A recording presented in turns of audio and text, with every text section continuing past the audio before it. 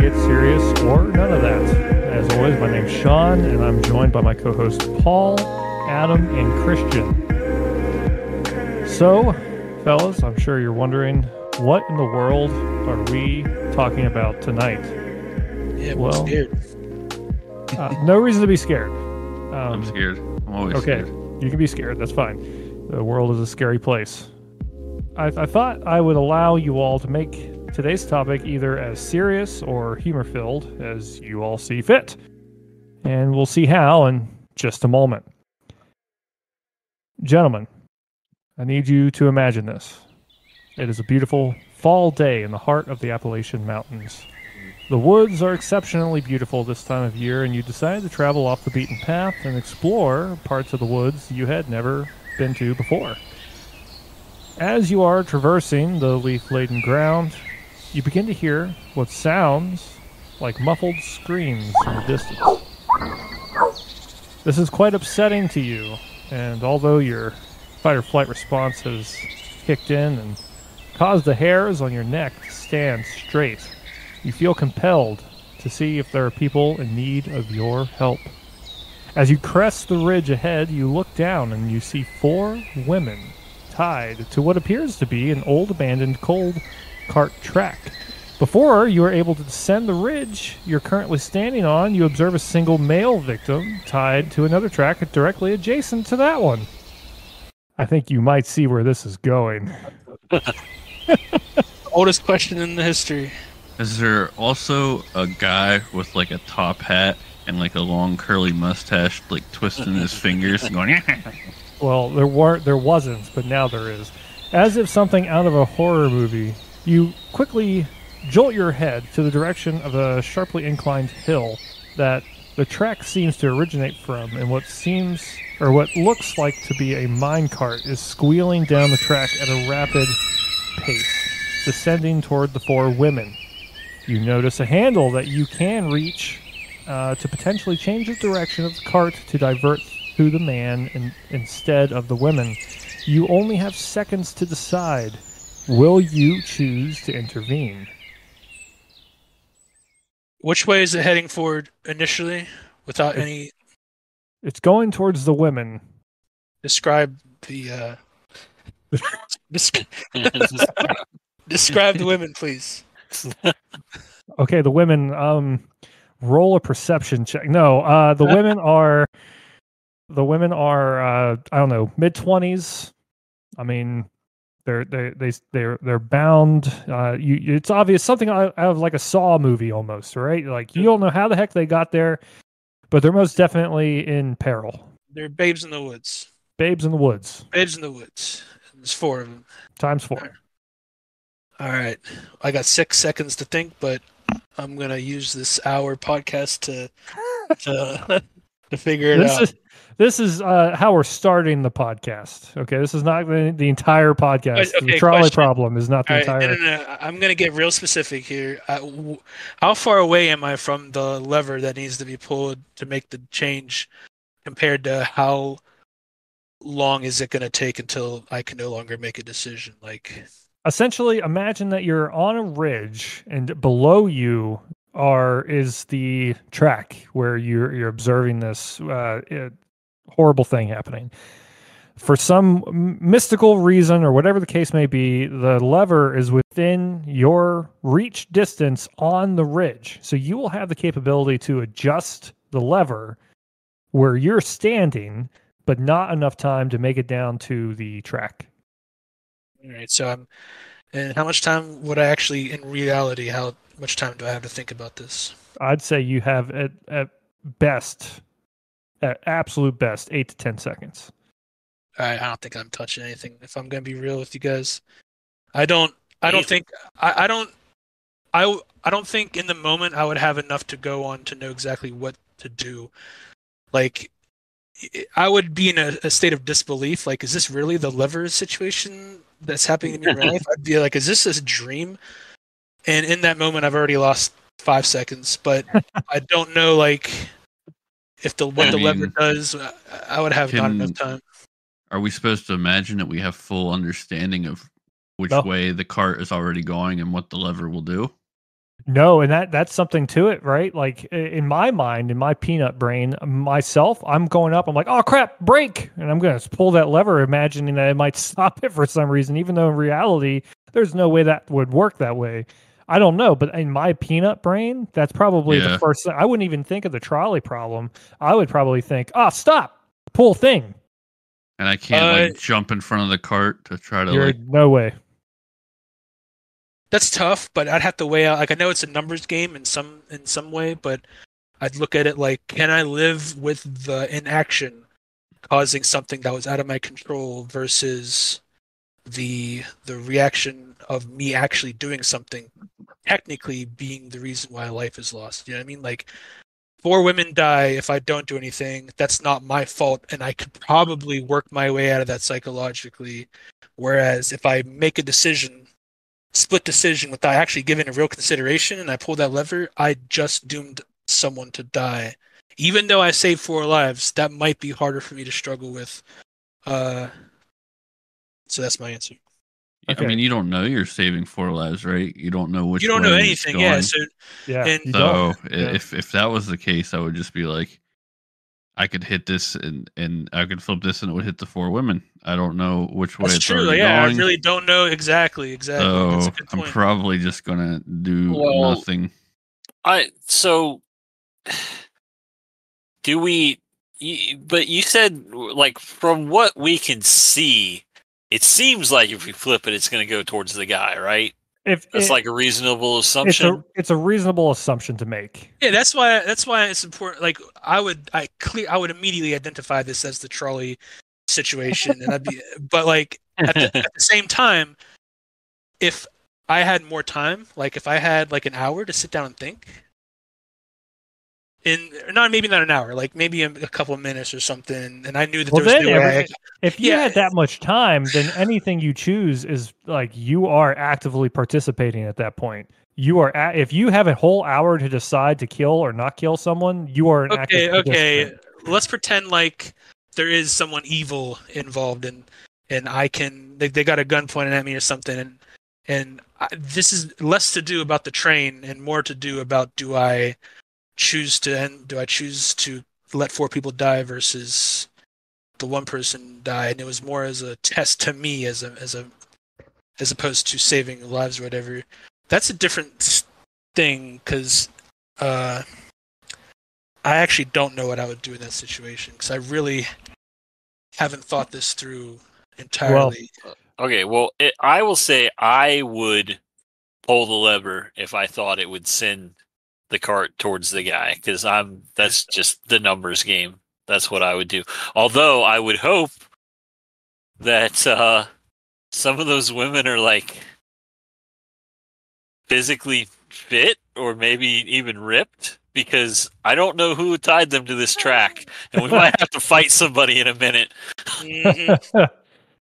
Yeah, I mean, if if I guess if I knew what I was doing and I knew I could send it, Uh, like I I consciously understood that I could either send it to hit the guy or send it to hit the girls, I, I would probably do the same thing. I'd be like, one losing one is not as bad as losing four. Okay. But if it was just like I didn't know what was happening and like this was like the first time I'd ever real life seen one of these like levers in real life and it's like I need to make a split second reaction, I'm probably just gonna be like, uh what? And just like Yeah. kind of look really stunned and just be like, Paul. Oh shit, that just happened.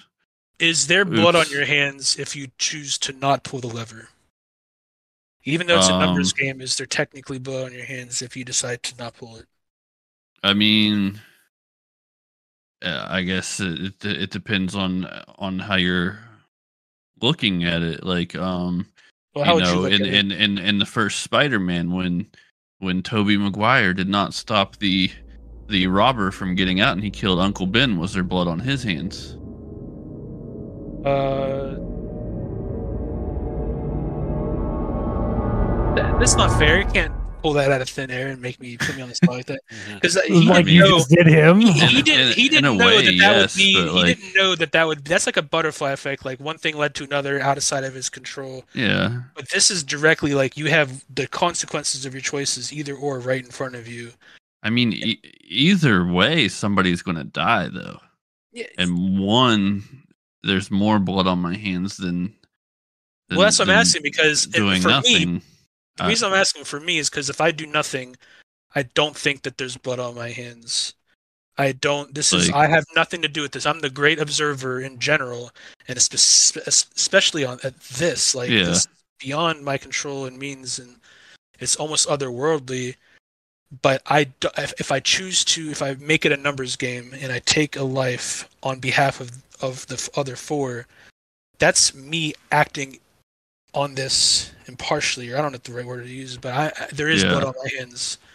I mean, I agree with that to an extent, but like, I don't know. Could you think of like another scenario where like just non-acting would be bad? Because I mean, this one, it's like you know, someone's either gonna die either way, whether you react or not, whether there's blood on your hands or not, someone's gonna die. But what if it was just like one person could die? You see this, you could save them, and then you choose to do nothing. Like it's either That's you true. save No, them that's a good point. That's a or point. or or not. You know, no one no one has to die. You could Yeah, cause at the end of no one day- to die. the puppet and then- master in control of this would be like you're basically choosing between four lives and one at the end of the day like Yeah. that is what's going on here and i see that like, you know, somebody walks onto a train and and you know you know, maybe that that train is going to crash or there's a bomb on it or something and you could have said, "Hey, don't get on that dude." But you just like watch him get on and yeah that's chaos guess similar ensues. but definitely different Yeah, I'm just saying that one. I would say that one.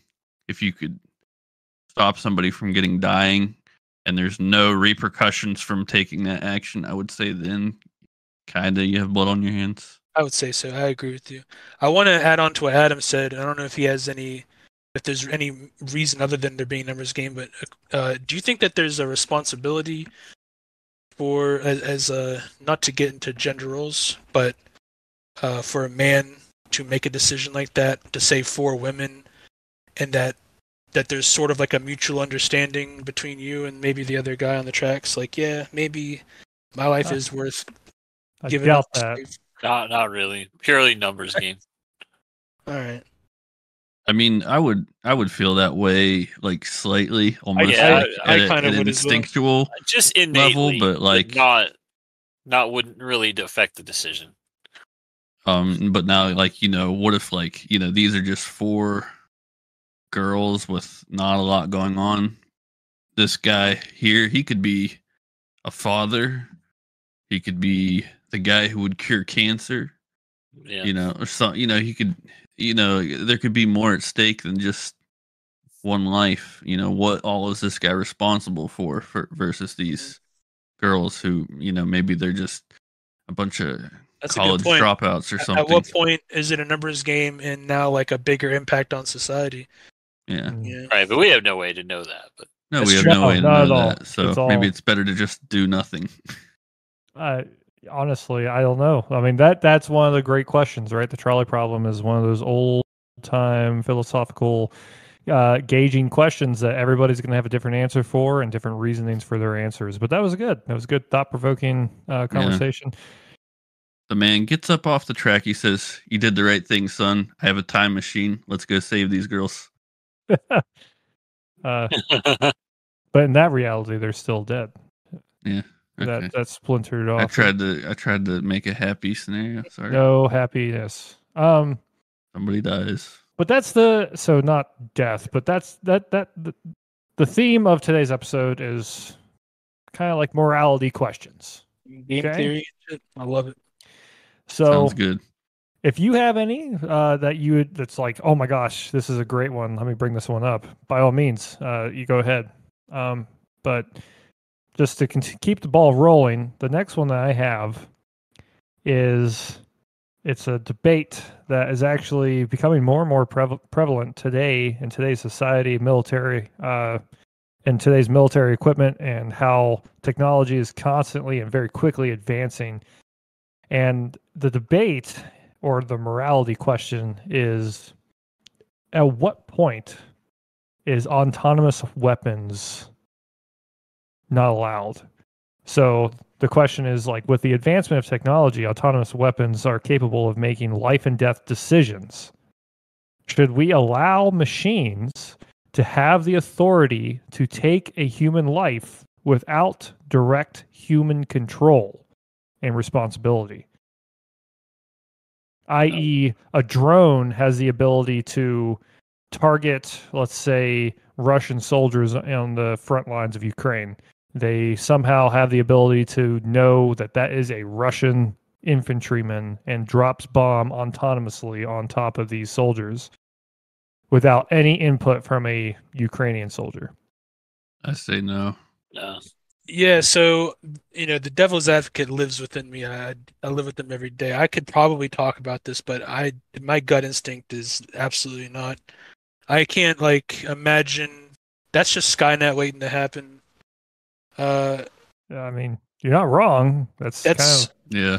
that's a tough bargain. I don't like the idea of fighting robots. That's a losing war, in my opinion, probably.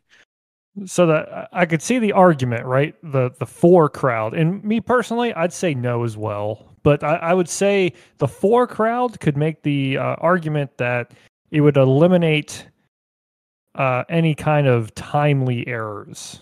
You, you know, so Oh, to speak. So so like for instance, uh, we'll utilize like something like the Patriot missile system. Uh, Ukraine's using it right now that because we gifted it to them, we being the U.S. Um, and they have been very successful in shooting down Scud missiles and shooting down uh, aircraft, fixed wing, both fixed wing and rotary wing Russian threats. And a lot of that is autonomous, uh, so to speak. It allows the operator to not have to constantly engage targets physically and allows it the system to autonomously defend an area Right. quickly. If if this uh, missile were to, you know, there was a threat and it starts to engage, is there like a period where you can override it and be like, no, putting in the code, don't launch? I Or is believe just- there is an. Uh, I mean, I, I can't. I'm not going to speak uh, speak to the specifics of the system. It's probably not a good good idea. Right. Um, I would just hope so. but I will say, like, I I know for a fact that there are ways to make it autonomous, uh, so to speak. You know, there's definitely human input that has to be done prior to it getting to that point. Um, you have to make a conscious decision to make it defend an area by itself, but that that's the situation where this could be something beneficial to people because that that Patriot missile system is ordinarily defending large cities. So if you have hesitation to engage a target because you're uncertain on if it's a threat or not, um, but it's flying in restricted airspace and is rapidly approaching a uh, protected area, like uh, you know school children or whatever the case may be, but you hesitate and people die, that's the that's the four. If the uh, autonomous machine makes a mistake, kills an innocent, is the blood on the programmer's hands? Mm, programmer or Or I wouldn't say no. I would say no as far as the programmer goes. I goes. forget what happened when that Google car crashed into that woman. How did? What was the ruling on that? Did we just say, "Oh, it's just acted up," or was I don't the know. people to blame? I, I'm sure Google probably settled out of court. If I had to, if I have to take a guess, Oh, yeah, yeah, yeah. But did someone get Hmm. fired? You think? I, I don't know if that's something we'll ever know. Um, But- to speak on. No, go ahead. Oh, I was just gonna say the the missile defense systems, though. Um, I mean, with those, there's a pretty, like, extremely low chance of casualties, right? Because it's not gonna, it's not gonna mistake a plane for a missile, is it? as a former Patriot missile operator, let me inform you that um, one of the last confirmed kills for U.S. was uh, a friendly NATO coalition uh, friendly force. Uh, we shot down a British Tornado with, uh, I believe it was 13 souls on board, and they were all civilians. Um, the issue was that the Patriot missile system detected them as a threat because they were flying in restricted airspace, but their specific identify friend or foe uh, equipment, which all aircraft must have, um, was not squawking the correct code. It was un it was not functional, but because it was flying in restricted airspace and the Patriot missile system picked it up as a threat, and this was not autonomous. Let me let me say that it was not an autonomous fire. Uh, they the Patriot missile crew followed all procedures and attempted to make contact with the aircraft, but they did not. They were having issues with their communications equipment. Um, the IFF, identify friend or foe, being one of those pieces of equipment, and they got shot down. Well, oh man, I mean that's. Whew. Here's a question: um, Is war a human trait? Like, is it No, is it is it something that is extremely human and won't stop unless we take that part of humanity out? no. Because I don't think. I mean, there's, it's hard to. We, we- don't really have much of a sample test with other species, but it doesn't seem like Yes, do. much war is waged between species that aren't like uh I mean I guess that's not true. You'll get like animals doing this, but like uh I guess what I was gonna say is humanity is very flawed and will always be. I mean it's, we're only human obviously, and that if we want to see it's impossible for us to invent utopia because of this. And if we want to see in terms of like arguing the devil's advocate in favor of this, you will never see a utopia without handing up some of our humanity, our liberties, freedoms for a security based around autonomy. Ooh, I can't wait for the next question because you're really good at segueing that one in. But um, to become a hive you, mind. Yeah. become a hive mind. That's the Yeah, only then we real way to become a utopia. Yeah, we have to do that so we could become a class five civilization and escape before our universe implodes upon itself. It's Obviously. yeah, no big deal. What was I going to say? Oh, I was going to respond to you said is it a human thing for war? We're getting off topic, but that's okay.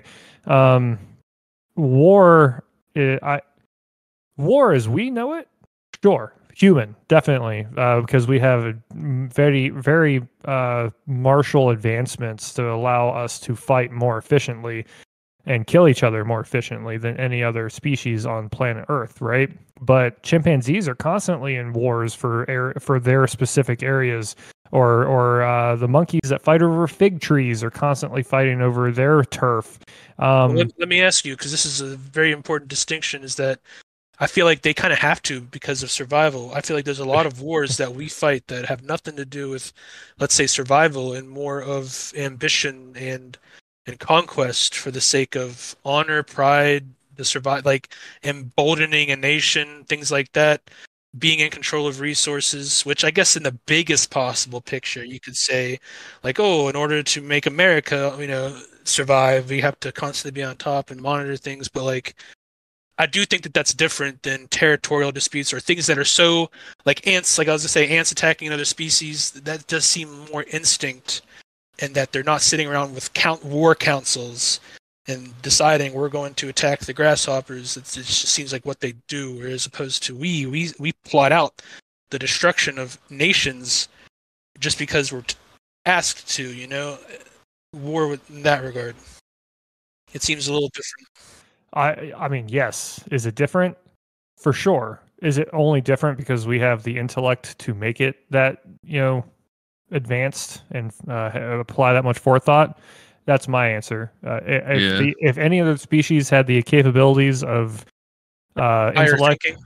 yeah, of, of higher thinking, then they would be on the It, it might exact just same. be like uh, the the fatal flaw of intelligence and self awareness is that Yeah, okay, seven. I mean, you said, is sins it, a, is it a human thing since we're the only ones who possess that amount of intelligence now that we know of?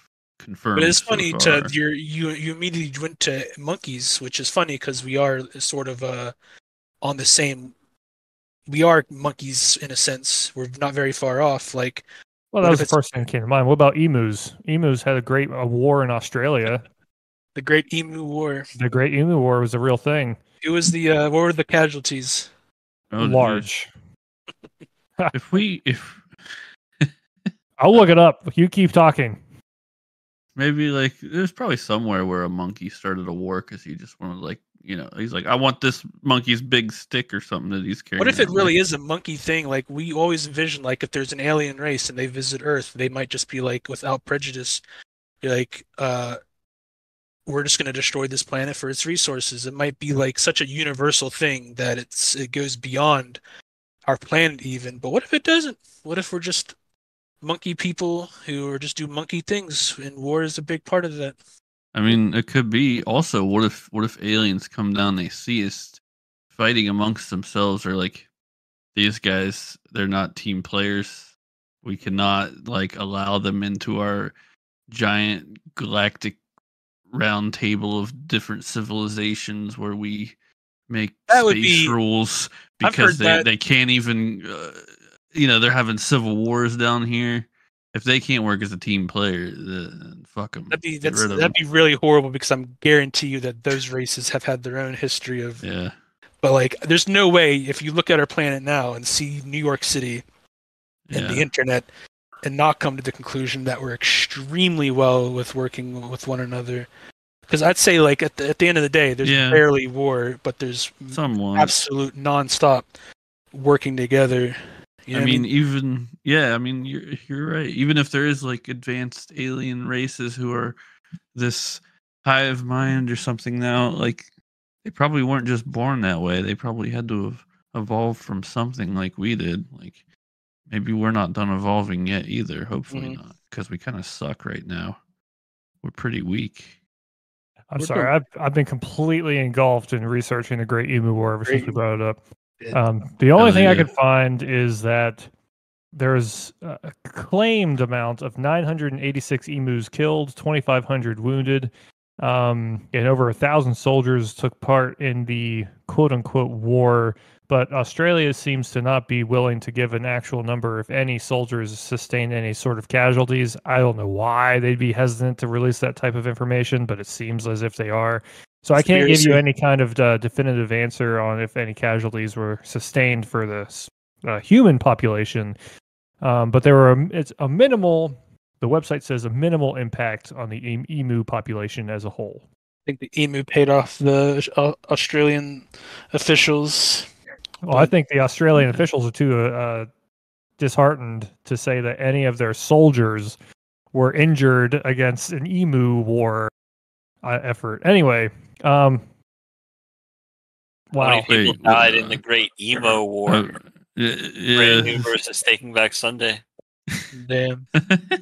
I don't know that. I'm not Oh, gonna, I'm not yeah. gonna Google that. I one. used to always be on the side of brand new but until like recently when he's kind of creepy. and I'm like, you know what? Maybe, maybe he was the weird one.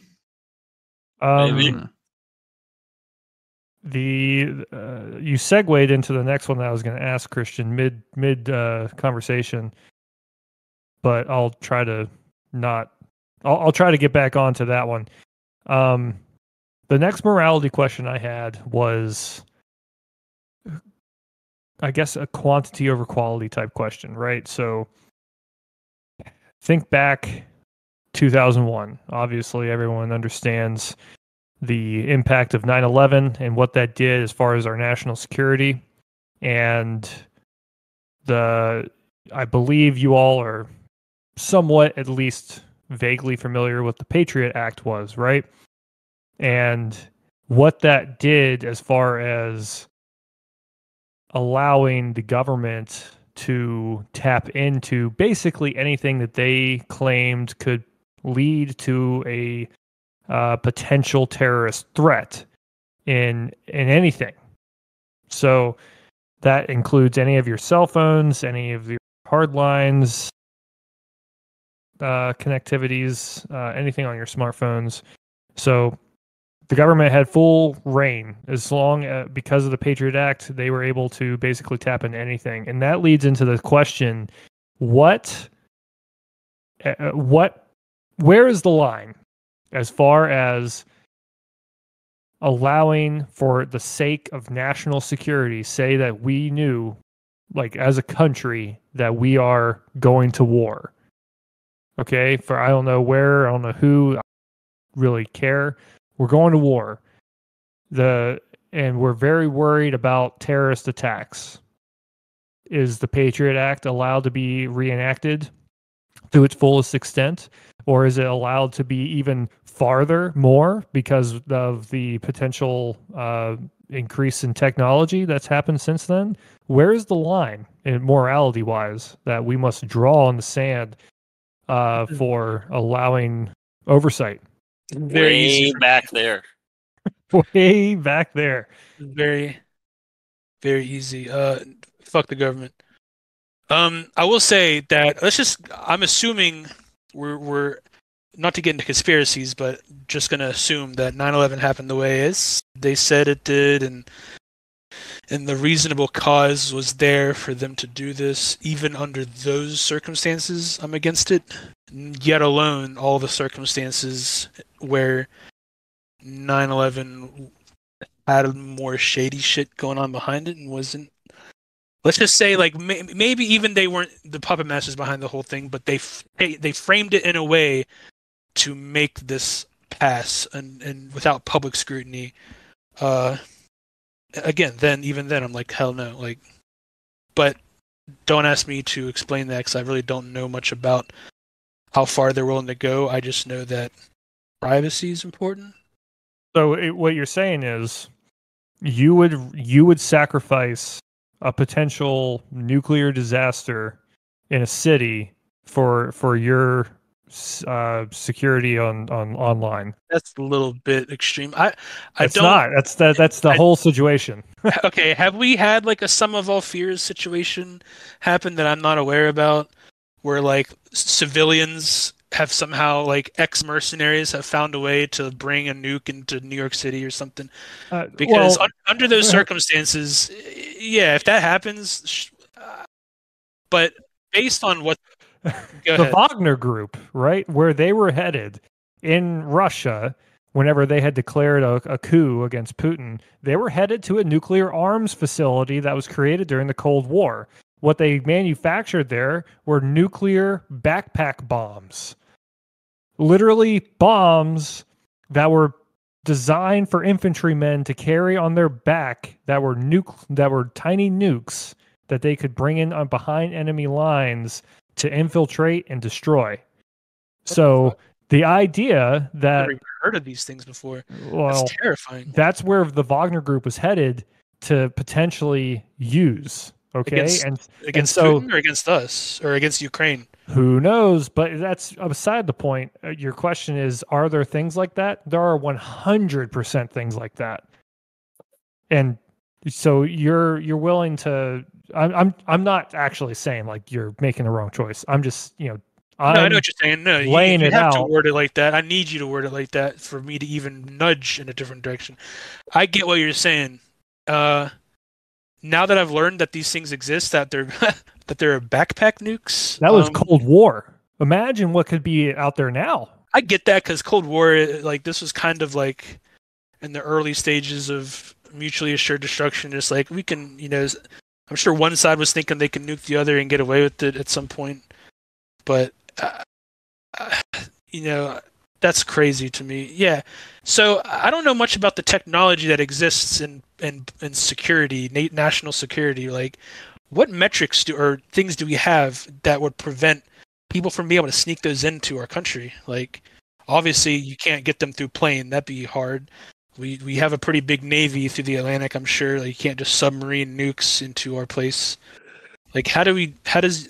I mean, man, people come on into America all the time. There are constant Russian and Ukrainian refugees going across the Mexican border today. Like it happens all the time. So yeah, to think you're that, right. So and so here's the, here's the devil's advocate. Where is the line that the government is allowed to constantly observe? That are we, they we have allowed to technology that detects like uto- like plutonium concentrations or whatever you, whatever it is that nukes I are don't know. made of. I- Uranium. I'm purely saying that they would have the capability to constantly search for trigger words or phrases in people's text messages or their phone conversations that may allow them to generate a list of po- possible, you know, people who are sympathetic to a terrorist cause or whatever the case may be. I don't know. It's whatever that they're doing. All right, to- I'm I'm willing to find middle ground here. I will say this: If they can do whatever they want so long. I mean, if this was if their goal was protecting national security and and stopping bomb, backpack bombs from going off downtown, I'd be willing to let them do what's at their whatever's at their disposal as long as anything else they find in the process that may be illegal cannot be used against you. Um, sure, we'll get rid of it. Yeah. yeah, like they can't be like, oh, we found out that this dude was a hardcore big name drug dealer in this region because somehow he was implicated through someone, through someone, through someone, through someone who may be a part of a, a terrorist organization. And now we've got to pursue this with some other department. But like, no, that you should be exonerated of it. You should have immunity to anything if you're being spied on, as long as why you're being spied on is in pursuit Even if you're a serial killer. Yeah, abs- uh, yeah, I'd gotta say like probably it's got to be an all or nothing thing because the moment you start being Yeah. like, all right, I we're mean, gonna, Where do you draw the line? Where do you draw the line? Yeah, That's Okay, that's so the- you're willing to trust the government to uh, get I'm rid will, of yeah, I'm willing I wouldn't s- say the words trust. Yeah, I wouldn't say the trust, but as long as there's something written in law defended by the Supreme Court, uh, I could live with it because Yeah. I can I can accept serial killers as a part of the human experience. But atomic bombs in downtown, that's where I draw the line at the human experience. That's when like you got to Yeah, that. when it's genocide. Um, Uh, you guys heard it here first. Christian supports the government fully in their decision to monitor everything that you're doing online. I'm getting at it. You should- wow, you you you you handle information just like everybody else online. This is what am, is this Twitter? Yeah, yeah. Well, you, you got me in an emotional state because now I just found I got something to be afraid of. Now. No, I I didn't- um, say So I'm I'm not I'm not down with that. I'm s- I'm saying no. I'm still saying no. I mean, they pretty Hard much they they pretty much could see anything they want to, anyways. Well, here's the well. don't that's tell me that's you're what not. I was you say. can you can be this crazy hippie, and you're like, all right, boys, it's fine. I'm deleting my Facebook. I'm gonna get off the grid. Gonna live out there on the sticks. You can't tell me there isn't like a fucking satellite up in the sky that's just like, haha, Yeah, we got you that's a- anyways, fucker. That's a big point. If it's the wild, wild west and there's no laws on the books and they're going to spy on you anyways because the technology exists and we're all networked, Yeah, I kind of would like to have that that thing in place since we know they're going to do it anyways if they want to. Well, here's the thing, though.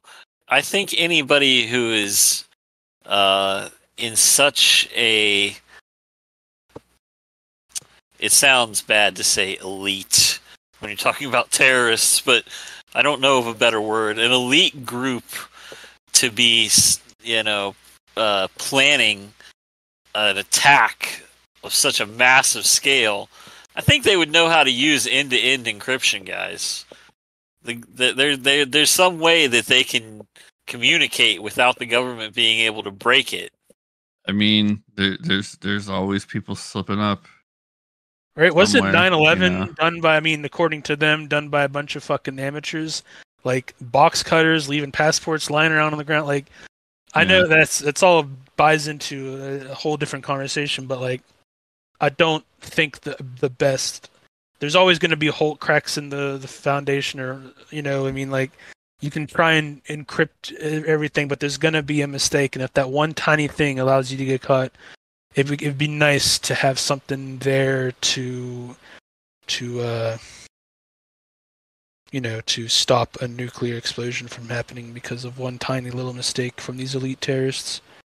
I think there. Yeah, I think it's right. There's definitely going to be a mistake somewhere, and even if it isn't them, if if they're monitoring everyone, they, these terrorists could just be near, like a normal person, and maybe that's picked up in conversation through something on on another person's phone who's not a terrorist, who doesn't have encryption.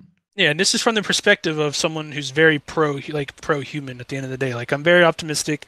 I don't think humanity's a parasite that needs to be. You know, I'm not like edgy. Like I do love humanity and the explosion of what we are, and I do hope that we make it into the next frontier and we just populate space and we just have this amazing history. So yeah, I do think nukes and things like that are a big uh, one or two or three bad placed nukes at certain areas could set us back a thousand years. Like Oh, I, sure. I don't think like w- what is the what is the worst case aspect of losing our privacy? If you, most people, and when I say most, I mean like ninety People do weird shit. percent. They do, but I'm saying the vast amount of people are just kind of living day to day shit, Yeah. not doing Yeah. anything that's worth anything. That's- That's what you think. Uh, if you want to also Um, be really scared, Christian, yeah, um, um, not not talking about nukes anymore, but just you know natural phenomena. Yeah, look up solar flares and how they could damage us and destroy everything that we know. Yeah, that's easy. I've Dale taught me about solar flares in like grade school. Whenever we that one Halloween where the sky was red, he was just like, "Oh, this is a solar flare. We could all be killed momentarily." And I'm just like, "What the fuck?"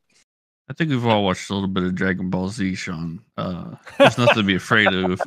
Goku is is on our side. I think you know he'll Yeah. he'll he'll wish us all back. One one one more thing about you know I know Adam's talking about like all the encryption and shit. Like uh like what about the guy who who like founded uh the Silk Road? Like you know how they caught him, right? Right. like, all that The- like he had a key or you know he had some way to just like fucking nuke everything wipe it out at like a, a second's notice so like there was no way he could get caught and then like he's in a library there's like a fake lover spat going on it's actually like two people Yeah. undercover they take his laptop he's done yeah, that was crazy. I remember uh, about uh, hearing about that.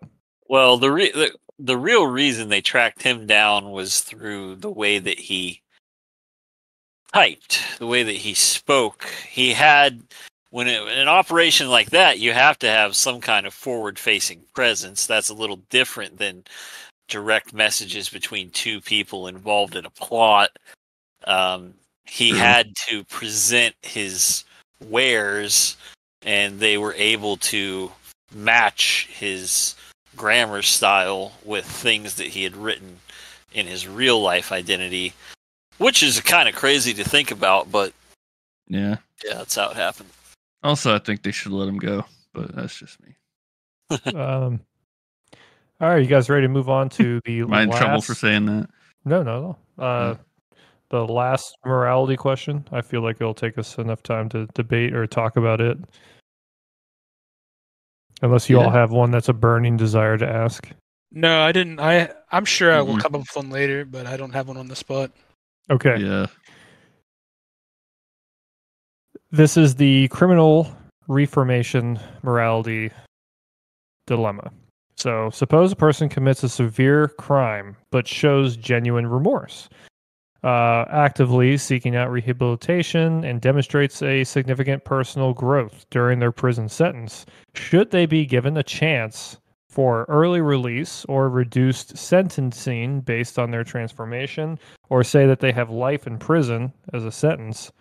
Um, where there is no possibility of parole or no possibility of escaping prison for their lifespan entirely because we all know an actual lifespan i think is only or a life sentence is like 20 years so you could get a life sentence and still actually get out but if you have multiple life sentences then you're done right? Let's say someone has multiple life sentences because they committed a very heinous crime and they have changed morally they are a different person entirely and there is pro- there is no possibility of them actually uh, redoing this act or or being the person that they once were.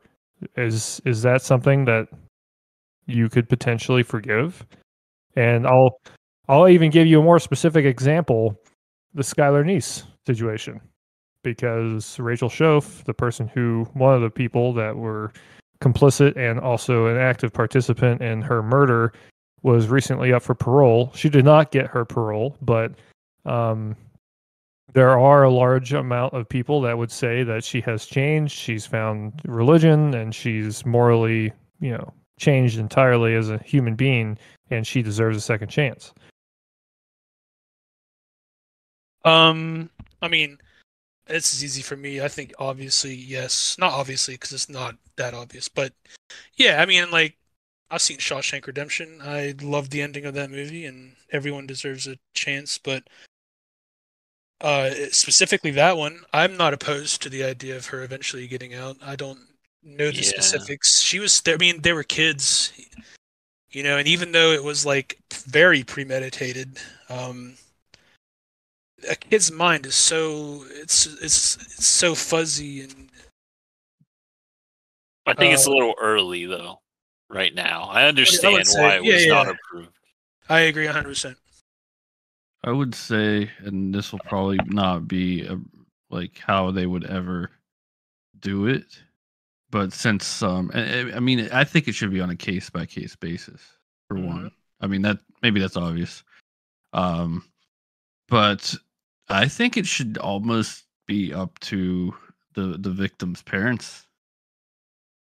If if Or they relatives. can find Yeah, that's a good. a way to forgive her you know and i mean she better good- be like you know doing something for these people she you know better be down on her hands and knees begging for forgiveness and, and you know she, you know maybe she should, she should probably spend her whole life you know you're never going to replace that person who was lost but she should just like probably dedicate her life to just doing anything she can to like repair like the pain that this family is feeling and i think if if she does that and they find it some way to forgive her then then yes Hmm. that's that's a very big if but that's goes alongside my philosophy with the death penalty too not to divert it but like a big thing about like i've once i've said i think to you guys too that if the the family the the real the, the absolute closest victims to a crime like that uh if if they want this is kind of dicey but they should be able to ones to either okay I don't know what I'm really trying to say. Actually, I don't even. I, I know the trigger. exactly. I know exactly what you're is trying not- to say. I don't. I don't Oh. want to be on camera. Ooh. No, I'm not saying. i don't even know if Uh, they would want to do that some of them might some of them like I you kinda- some of them even might think they might be the ones to to to you know do it and then they have a lifetime of regret as well exactly. That's So, very true. But yeah. I'm with you 100. percent That kind of goes in Yeah. a similar mentality where, like, if the family can forgive them, then the state and the society should be able to, since they have really nothing to do with this. The family has Yeah. everything to do with this.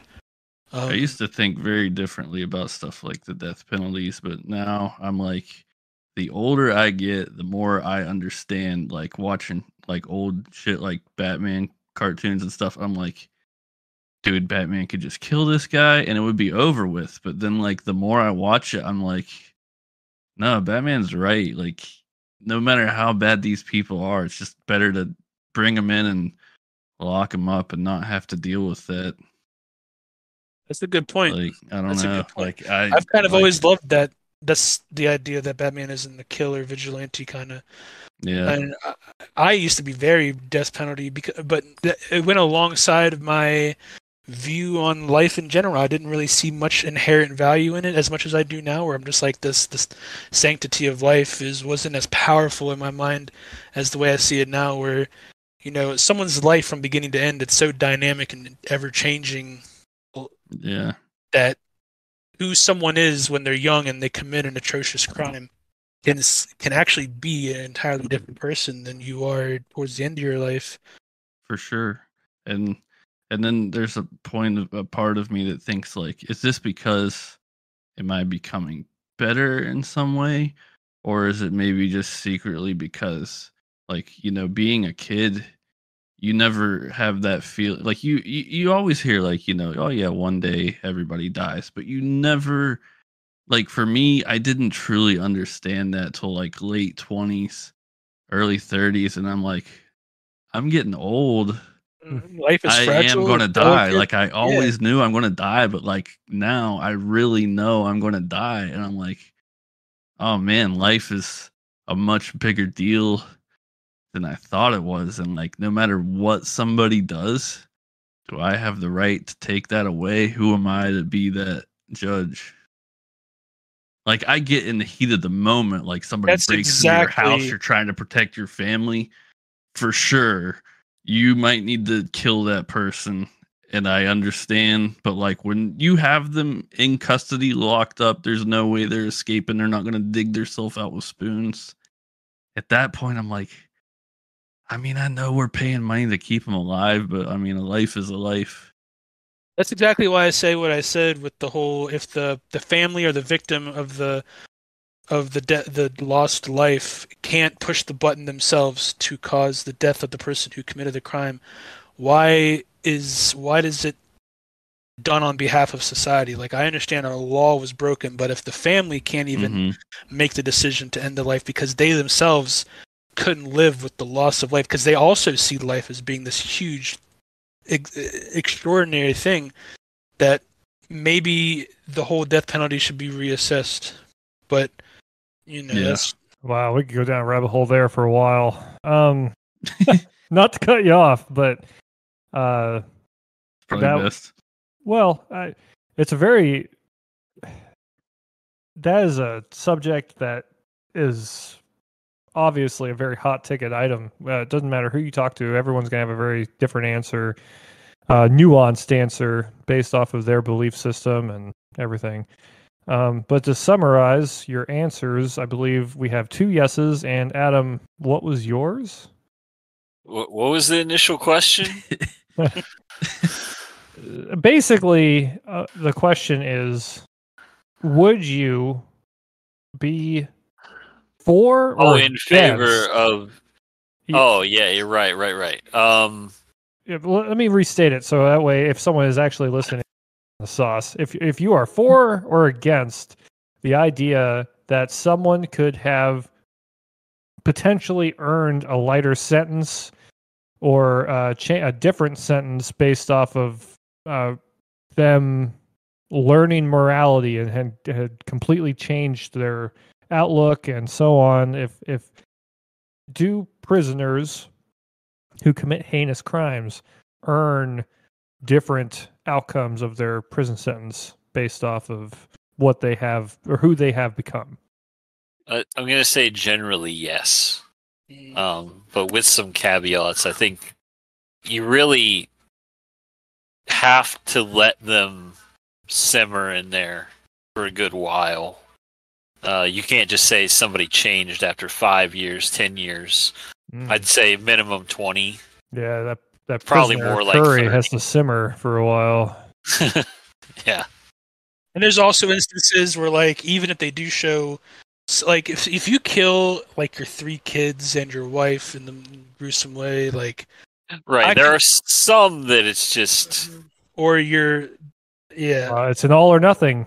I, I, I, I'm I'm I'm gonna have Well, to hold you well, to it. No, no, no, because I think we established that everything should be looked at case by case. Um, Okay. Yeah, all or Yeah. nothing. I don't. I don't. I can't like. do all or nothing. If we do all or nothing, then So, th- so you're saying there are people that are have committed too Right. heinous of an act to ever be reconsidered for. And, For sure. yes, and and maybe they do it late enough in their life that you know that there's not enough time. Maybe they get to go another to a thing, nicer yeah. prison, but they don't get out. Like, uh, you know, like if somebody committed mass murder and we know for sure it was them, there was, you know, videotape evidence of it. We're talking like more than three deaths at once, school shooters, that kind of thing. Yeah. yeah. No, no chance. I'm also willing to put out there, not to be ageist or whatever, but like there's an argument to be made about anything that you really do before you're 30 or 25, when your brain is still being developed. That like that should be taken into consideration because so there's so much passion and exu- and like exuberant force of life within the youth that you're always making stupid rash decisions in the heat of moments and there's there's you sort of lose a lot of that as you age. And if you're doing stone cold acts of fucking evil when you're in your 50s you probably are fucked up and are unable to change. Whereas if you do that exact crime at the age of 19 or 23 or something there is an element of lo- no control loss of control because you are subject to your own fatal flaws or whatever the fuck i'm trying to say but you know what i'm trying to say Yeah, my brain's definitely a lot different since then. Um, and I, I'll, bring up one other thing that I think, uh, you know, is kind of interesting. And this was this was a Sam Harris thing. I'm not trying to bring uh like free will into this. That's a whole nother topic. But like one of the things he was, an example was like it was like five different murderers. You know, like one of them had abusive parents. You know, one of them had a brain tumor that was like causing some stuff to go wrong with them. One of them, perfectly normal life. You know, I, I can't remember every single one. I'm just like, you know, what if, you know, brain tumor, something was causing this guy to be crazy. They remove it, and he's just like, "Oh, dude, what what the hell did I do?" You know? Yeah. What about that situation? Is he still held accountable? That's that's a tough call. You're going to feel whole- a lot different about him than than just like the the rich white boy with the perfect family. Like, why did you do Yeah, I it, think, dude? I think on the case of the brain tumor, you could probably argue in court that maybe an insanity case. Um, but in terms of like psychological trauma, like having an, that might not be seen as as important. But I do think that it is just as much uh, has an effect on what you do as a person, regardless of how they see it in court. Yeah. Because one's like a tangible, like you can be like, all right, I can see the effects of the brain because the tumor's sitting right there, in this part that fucks up this part of the brain that's able to make decisions. But I feel like everyone's got such so like different levels of trauma in their lives. It's hard to make an a, a measurement that is able to be used in court. Yeah.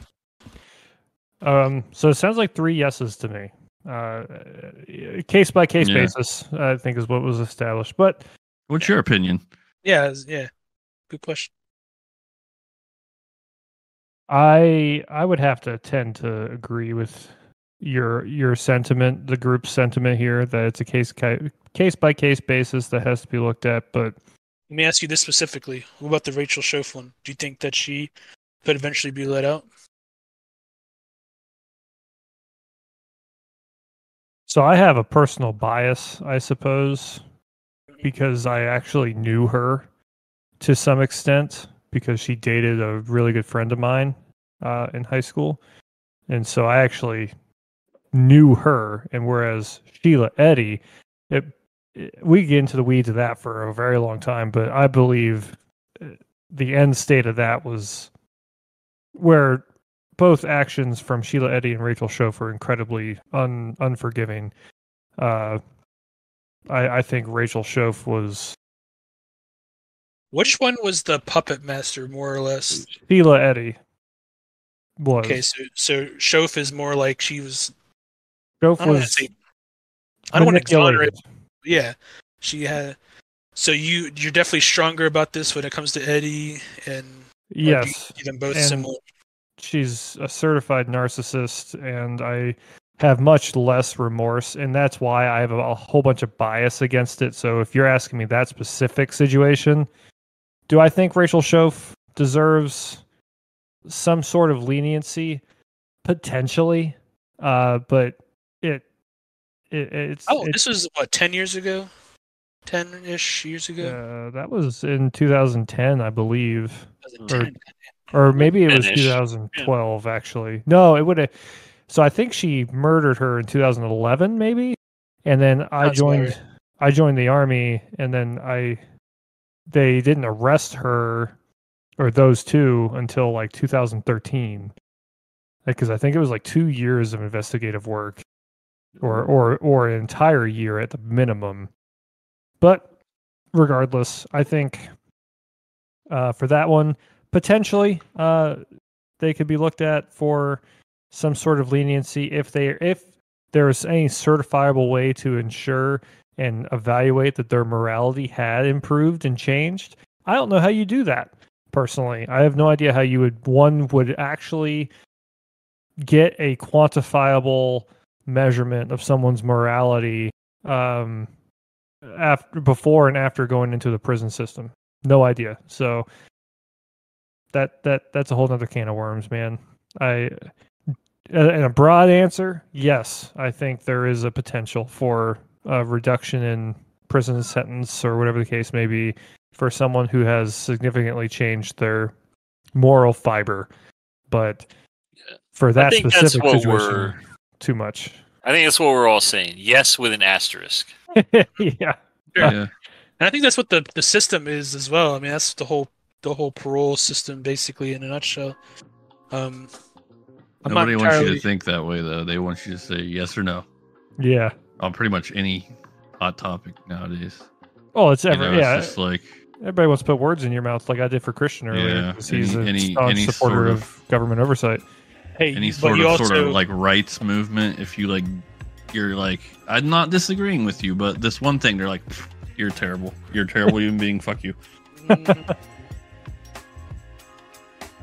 All right, guys. Well, any final thoughts to send us off before I finish I feel this like out? any thought that I could possibly have is just going to spiral us into um, another. Yeah, I figure that's probably the case.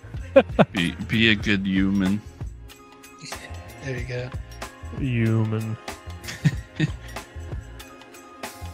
well, that's going to wrap it up for this episode. If you stayed this long, then I hope you'll check out some of our other episodes. My favorite by far still is our Tasteless Tirades. Let's talk about food episode, um, which we also talked about the death penalty in that for a long, long time. So apparently we have a theme here. Um, if you like the show, I encourage you to follow us on Instagram so you can be well informed on when the next episode comes out uh, as soon as I actually start to edit them. Thank you so much for listening, and we'll see you next time.